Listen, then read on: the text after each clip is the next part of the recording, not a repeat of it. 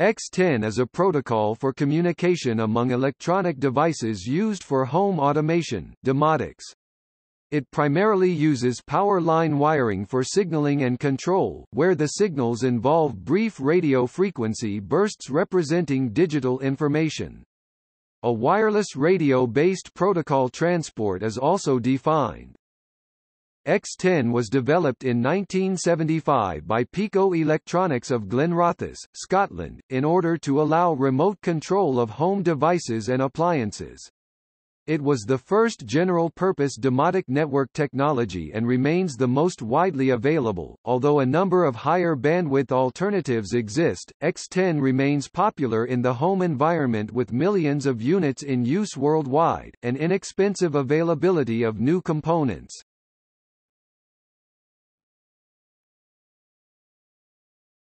Topic: History. In 1970, a group of engineers started a company in Glenrothes, Scotland called Pico Electronics. The company developed the first single-chip calculator.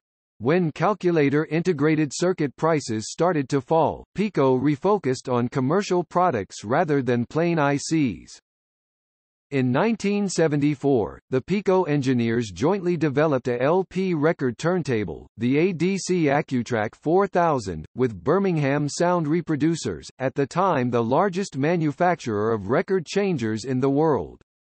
It could be programmed to play selected tracks, and could be operated by a remote control using ultrasound signals, which sparked the idea of remote control for lights and appliances. By 1975, the X10 project was conceived, so named because it was the 10th project. In 1978, X10 products started to appear in RadioShack and Sears stores. Together with BSR a partnership was formed, with the name X10 Limited. At that time the system consisted of a 16-channel command console, a lamp module, and an appliance module. Soon after came the wall switch module and the first X10 timer. In the 1980s, the CP290 computer interface was released. Software for the interface runs on the Commodore 64, Apple II, Macintosh, MS-DOS, and MS Windows. In 1985, BSR went out of business, and X10 USA Inc. was formed. In the early 1990s, the consumer market was divided into two main categories, the ultra-high end with a budget at 100,000 United States dollars and the mass market with budgets at 2,000 United States dollars to 35,000 United States dollars. Cebus 1984 and LonWorks 1991 were attempts to improve reliability and replace X10. Topic brands X10 components are sold under a variety of brand names, X10 Powerhouse X10 Pro X10 Active Home Radio Shack Plug-in Power Leviton Central Control System CCS Leviton Decora Electronic Controls Sears Home Control System Stanley Lightmaker Stanley HomeLink Black & Decker FreeWire IBM Home Director RCA Home Control GE Homeminder Advanced Control Technologies ACT Magnavox Home Security NuTone Smart Home Topic: Power line carrier control overview. Household electrical wiring which powers lights and appliances is used to send digital data between X10 devices. This data is encoded onto a 120 kHz carrier which is transmitted as bursts during the relatively quiet zero crossings of the 50 or 60 Hz AC alternating current waveform. One bit is transmitted at each zero crossing. The digital data consists of an address and a command sent from a controller to a controlled device. More advanced controllers can also query equally advanced devices to respond with their status. This status may be as simple as off or on, or the current dimming level, or even the temperature or other sensor reading. devices usually plug into the wall where a lamp, television, or other household appliance plugs in, however some built-in controllers are also available for wall switches and ceiling fixtures. The relatively high-frequency carrier wave carrying the signal cannot pass through a power transformer or across the phases of a multiphase system. For split-phase systems, the signal can be passively coupled from phase to phase using a passive capacitor, but for three-phase systems or where the capacitor provides insufficient coupling, an active X10 repeater can be used. To allow signals to be coupled across phases and still match each phase's zero crossing point, each bit is transmitted three times in each half cycle, offset by one-sixth cycle. It may also be desirable to block X10 signals from leaving the local area so, for example, the X10 controls in one house do not interfere with the X10 controls in a neighboring house. In this situation, inductive filters can be used to attenuate the X10 signals coming into or going out of the local area.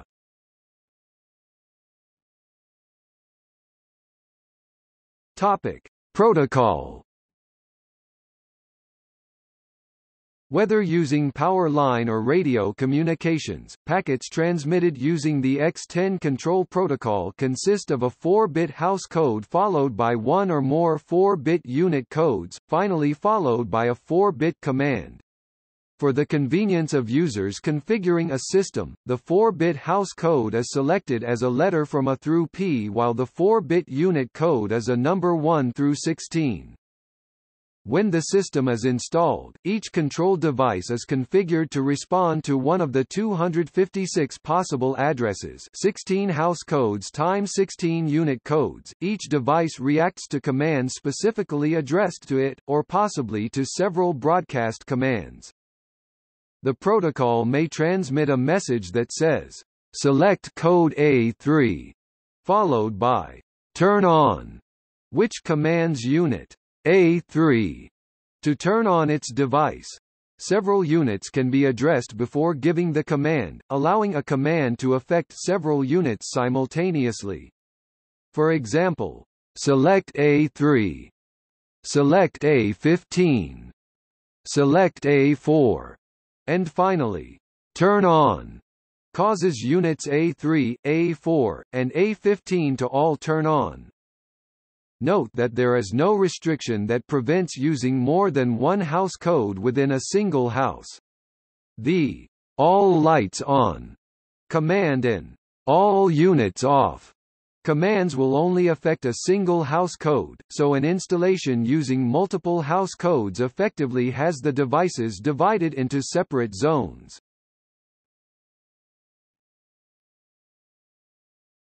Topic: one-way versus two-way Inexpensive X10 devices only receive commands and do not acknowledge their status to the rest of the network. Two-way controller devices allow for a more robust network but cost two to four times more and require two-way X10 devices.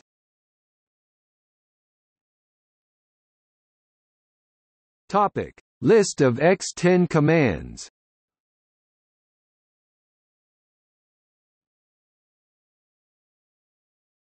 Topic: Physical layer details. In the 60 Hz AC current flow, a bit value of 1 is represented by a 1 millisecond burst of 120 kHz at the zero crossing point nominally 0 degrees, but within 200 microseconds of the zero crossing point, immediately followed by the absence of a pulse. A zero value is represented by the absence of 120 kHz at the zero crossing point pulse, immediately followed by the presence of a pulse. All messages are sent twice to reduce false signaling. After allowing for retransmission, line control, etc., data rates are around 20 bit s, making X10 data transmission so slow that the technology is confined to turning devices on and off or other very simple operations. In order to provide a predictable start point, every data frame transmitted always begin with a start code of 1110. Immediately after the start code, a house code AP appears, and after the letter code comes a function code. Function codes may specify a unit number code 1 to 16 or a command code, the selection between the two modes being determined by the last bit where 0 equals unit number and 1 equals command. One start code, one letter code, and one function code is known as an X10 frame and represent the minimum components of a valid X10 data packet. Each frame is sent twice in succession to make sure the receivers understand it over any power line noise for purposes of redundancy, reliability, and to accommodate line repeaters. Whenever the data changes from one address to another address, from an address to a command, or from one command to another command, the data frames must be separated by at least six clear zero crossings or 00000 the sequence of six zeros resets the device decoder hardware. Later developments 1997 of hardware are improvements of the native X10 hardware. In Europe 2001 for the 230 VAC 50 Hz market. All improved products use the same X10 protocol and are compatible.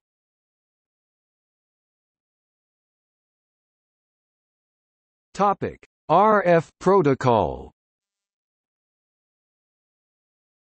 To allow for wireless keypads, remote switches, motion sensors, etc., an RF protocol is also defined.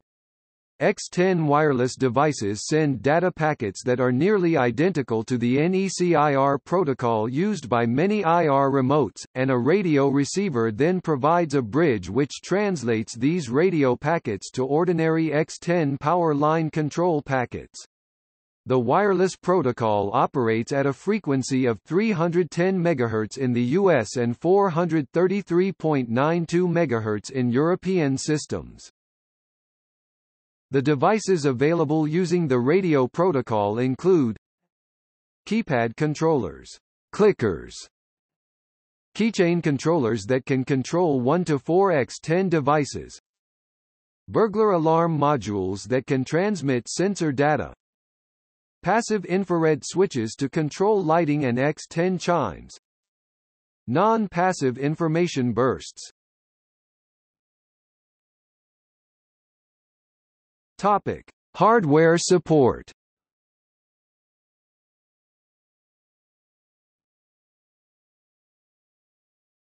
Topic: Device modules. Depending on the load that is to be controlled, different modules must be used. For incandescent lamp loads, a lamp module or wall switch module can be used. These modules switch the power using a triac solid-state switch and are also capable of dimming the lamp load. Lamp modules are almost silent in operation, and generally rated to control loads ranging from approximately 40 to 500 watts.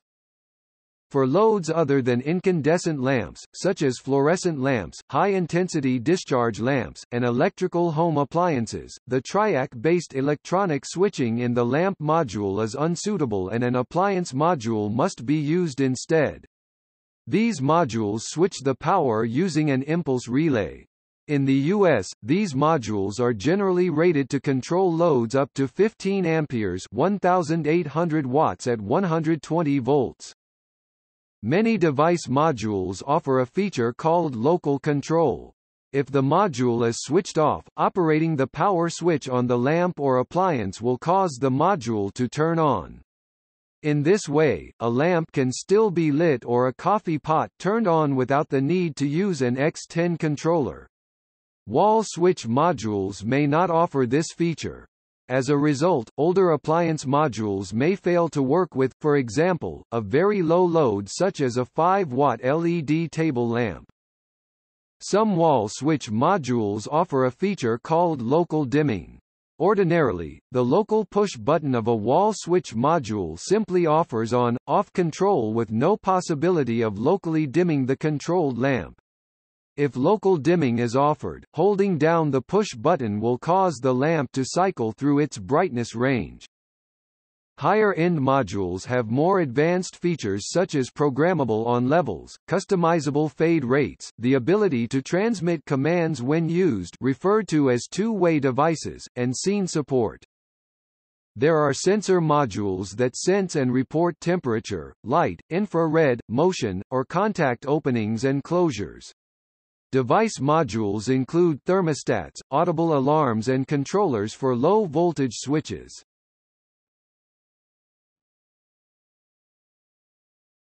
Topic: Controllers. X10 controllers range from extremely simple to very sophisticated. The simplest controllers are arranged to control 4x10 devices at four sequential addresses 1 to 4 or 5 to 8. The controllers typically contain the following buttons. Unit 1 on, off. Unit 2 on, off. Unit 3 on, off. Unit 4 on, off. Brighten, dim last selected unit all lights on, all units off. More sophisticated controllers can control more units and or incorporate timers that perform pre-programmed functions at specific times each day. Units are also available that use passive infrared motion detectors or photocells to turn lights on and off based on external conditions. Finally, very sophisticated units are available that can be fully programmed or, like the X10 Firecracker, use a program running in an external computer. These systems can execute many different timed events, respond to external sensors, and execute, with the press of a single button, an entire scene, turning lights on, establishing brightness levels, and so on. Control programs are available for computers running Microsoft Windows, Apple's Macintosh, Linux and FreeBSD operating systems. Burglar alarm systems are also available. These systems contain door, window sensors, as well as motion sensors that use a coded radio frequency RF signal to identify when they are tripped or just to routinely check in and give a heartbeat signal to show that the system is still active. Users can arm and disarm their system via several different remote controls that also use a coded RF signal to ensure security. When an alarm is triggered the console will make an outbound telephone call with a recorded message. The console will also use X10 protocols to flash lights when an alarm has been triggered while the security console sounds an external siren. Using X10 protocols, signals will also be sent to remote sirens for additional security.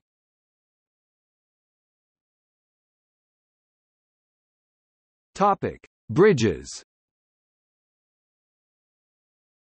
There are bridges to translate X10 to other domotic standards e.g., KNX.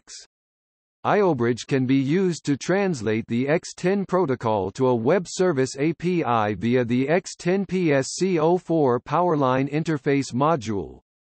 The Magdamus Home Controller from Magnocomp allows interconnection and interoperation between most home automation technologies.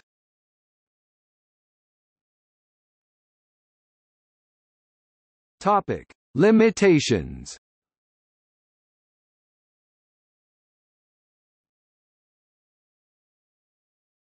Topic: Compatibility. Solid-state switches used in X10 controls pass a very small leakage current.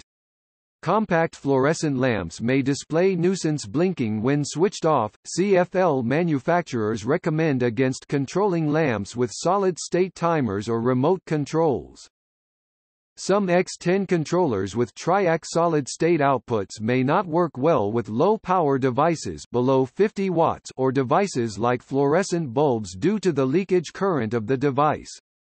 An appliance module, using a relay with metallic contacts may resolve this problem. Many older appliance units have a local control feature whereby the relay is intentionally bypassed with a high-value resistor. The module can then sense the appliance's own switch and turn on the relay when the local switch is operated. This sense current may be incompatible with LED or CFL lamps. Not all devices can be used on a dimmer. Fluorescent lamps are not dimmable with incandescent lamp dimmers. Certain models of compact fluorescent lamps are dimmable but cost more. Motorized appliances such as fans, etc. generally will not operate as expected on a dimmer.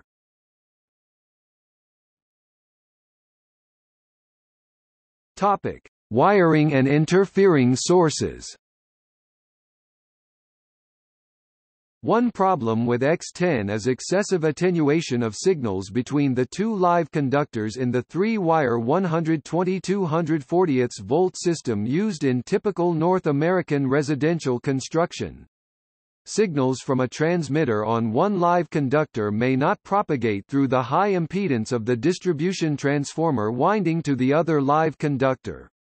Often, there's simply no reliable path to allow the X10 signals to propagate from one transformer leg wire to the other. This failure may come and go as large 240-volt devices such as stoves or dryers are turned on and off.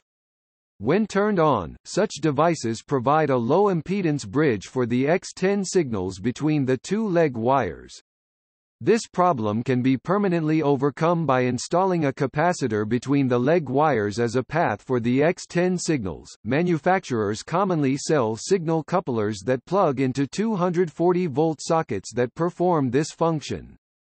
More sophisticated installations install an active repeater device between the legs, while others combine signal amplifiers with a coupling device. A repeater is also needed for interphase communication in homes with three-phase electric power. In many countries outside North America, entire houses are typically wired from a single 240-volt single-phase wire, so this problem does not occur. Television receivers or household wireless devices may cause spurious off or on signals. Noise filtering as installed on computers as well as many modern appliances may help keep external noise out of X10 signals, but noise filters not designed for X10 may also attenuate X10 signals traveling on the branch circuit to which the appliance is connected. Certain types of power supplies used in modern electronic equipment, such as computers, television receivers and satellite receivers, attenuate passing X10 signals by providing a low impedance path to high-frequency signals. Typically, the capacitors used on the inputs to these power supplies short the X10 signal from line to neutral, suppressing any hope of X10 control on the circuit near that device. Filters are available that will block the X10 signals from ever reaching such devices. Plugging offending devices into such filters can cure mysterious X10 intermittent failures. Having a backup power supply or standby power supply such as used with computers or other electronic devices can totally kill that leg in a household installation because of the filtering used in the power supply.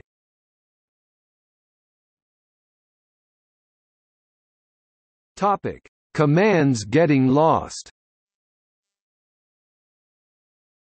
X10 signals can only be transmitted one command at a time, first by addressing the device to control, and then sending an operation for that device to perform.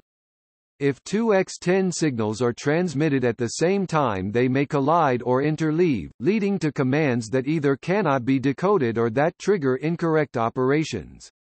The CM15A and RR501 transceiver can avoid these signal collisions that can sometimes occur with other models.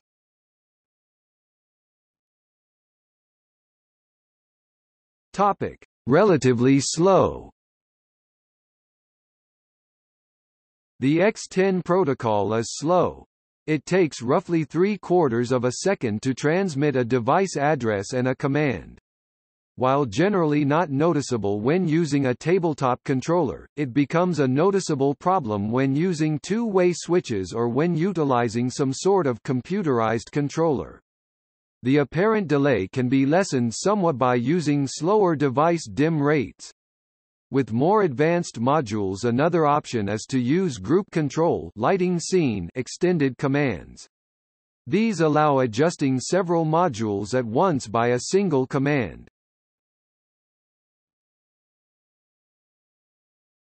Topic: Limited functionality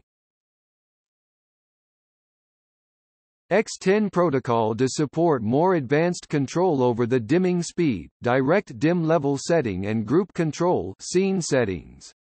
This is done via Extended Message Set, which is an official part of X10 standard. However support for all extended messages is not mandatory, and many cheaper modules implement only the basic message set. These require adjusting each lighting circuit one after the other, which can be visually unappealing and also very slow.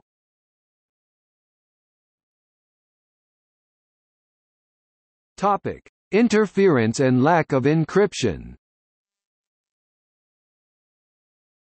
The standard X10 power line and RF protocols lack support for encryption, and can only address 256 devices.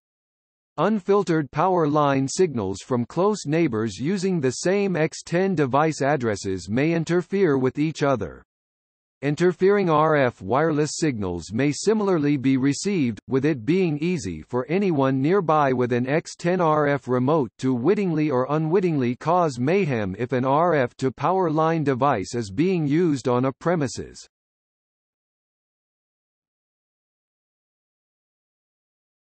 Topic. See also. Insteon. Home automation. Power line communication